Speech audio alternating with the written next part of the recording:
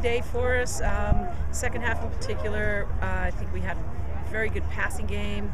Uh, the ball speed was good, and we had really nice overlap, inside out passing, overlap from the halfbacks uh, in the middies, and really uh, nice passing, full, full field, and generated some great goal scoring opportunities. Come on, get up here. Come on, come on, come on.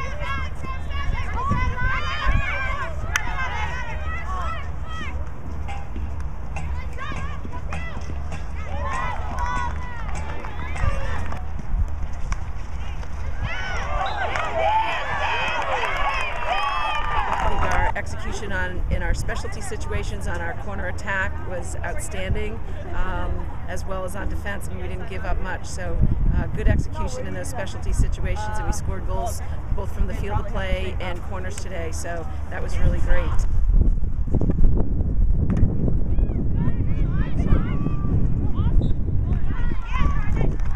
Everyone did their job. You know, they filled their filled their roles and uh, executed well. So we're really pleased, and uh, you know, hopefully this will generate a lot of momentum for us going into Monday's match.